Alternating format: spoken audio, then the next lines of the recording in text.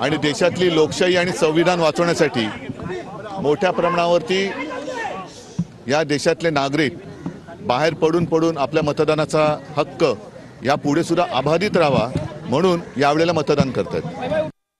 जे बाळासाहेबांनी काँग्रेसला नेहमी धडा शिकवला काँग्रेसला जवळ करू नका म्हणाले आज त्याच बाळासाहेबांचे वारस सांगणाऱ्यांनी काँग्रेसला अभिमानाने मतदान केलंय. बाळासाहेबांनी नेहमी काँग्रेसला विरोध केला.